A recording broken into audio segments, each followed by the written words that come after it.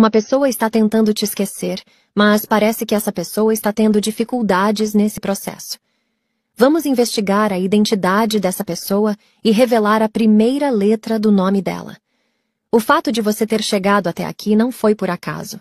Há uma mensagem do universo destinada a você. Conecte com essa mensagem clicando no mais vermelho sobre minha foto. Lembrando que para receber esta mensagem, é importante que você demonstre seu apoio, tocando no coração e deixando um comentário com gratidão universo pela mensagem. Isso garantirá que esta mensagem seja destinada a você. Percebo que a pessoa que não consegue te esquecer está observando você de perto através das redes sociais. Ao clicar no botão verde de compartilhamento, a inicial da quarta pessoa que aparecer é a inicial do nome dessa pessoa.